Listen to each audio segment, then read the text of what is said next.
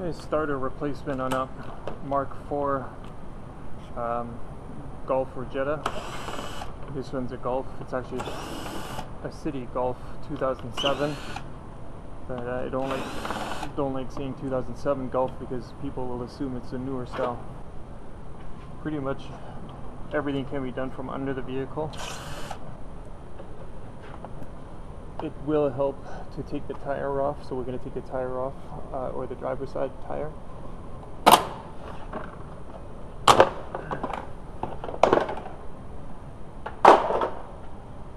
Standard or automatic uh, starters in the same location, and that's why I like Volkswagens. Uh, you know, they make things really nice and easy, and they keep things consistent same location dating back to the second generation, first generation of the ACE A platform, the Mark platform, Mark 1, 2, 3, 4, 5. Uh, I think 5 is pretty much the same. It might be a little bit different, but pretty much the same. Um, so yeah, here's the starter, standard transmission. Just gonna remove some stuff. Actually, I might leave the wheel in place. No, I'm gonna move it. I like to look across here through this through this way.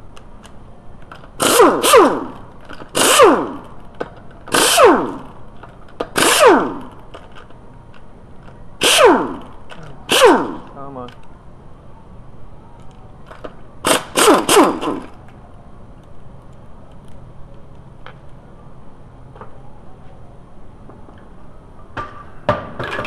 In order to see better, you want to take off the uh, fender liner. This one's popped out, so we're gonna. This one's popped out, so we're gonna fix that as well. Just a plastic retainer that that pops into place.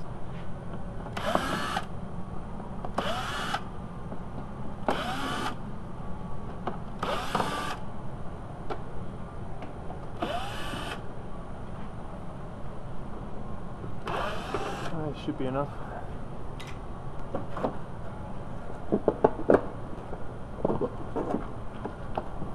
I just use a bungee cord to hold it over.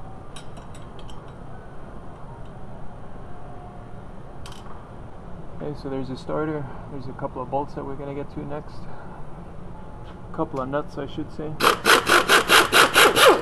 Try to keep track of your nuts. So this is a power steering bracket. You just move that aside. And disconnect your starter trigger. Squeeze and pull.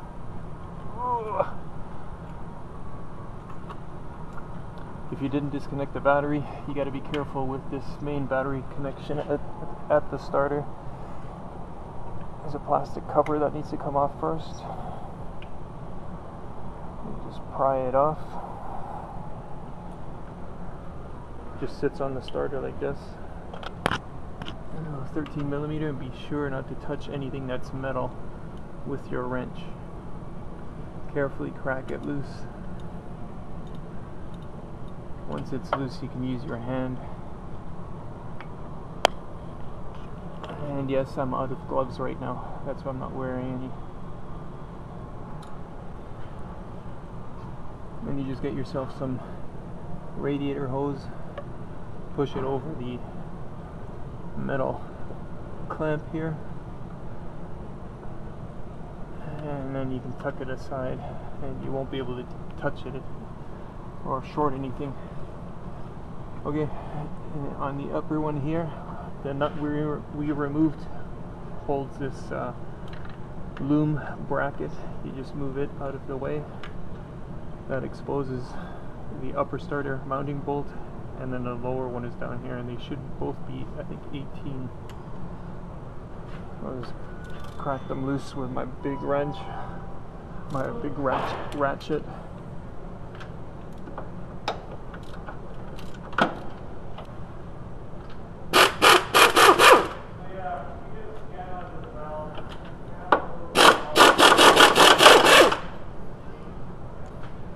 These are long bolts.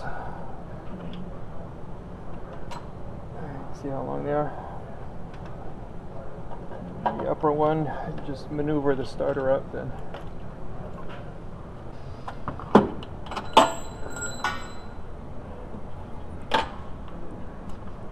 This is a stubby starter, it doesn't have the long uh, nipple that gets supported in the bushing. Um, if yours has a long one, there's no problem putting it in a stubby. Uh, this is supported in here. There's a there's a bearing in here that supports the shaft as the shaft comes out. Uh, or, or may not be a bearing, it may just be a bushing. Uh, but anyways, starter pops out like this, and you can see it's nicely supported. Uh, on the older Bendix style, if you pull the pull the gear out, there's actually movement, and that movement is what causes starter drag.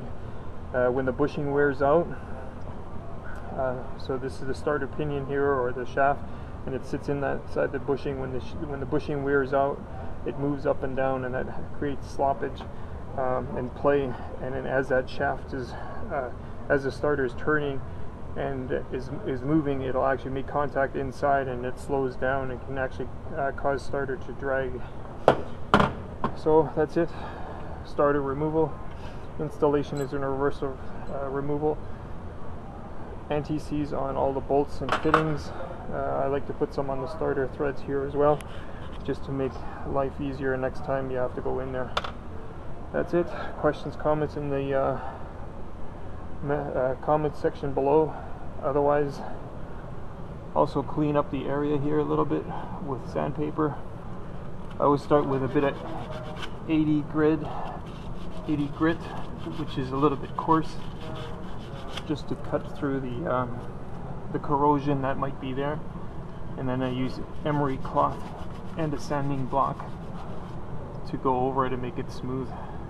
And that's pretty much it. Oh and you can see this the old hole here for the bushing for the earlier style starter. Uh, so yeah that's it. Uh, fairly straightforward nice and easy. Um, thanks for watching. So this plastic retainer there's a hole here.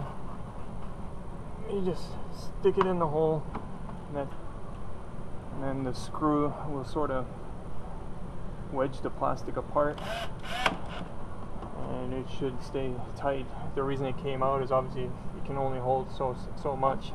So obviously this got most likely got snagged on something, which applied pressure on this and pulled it out.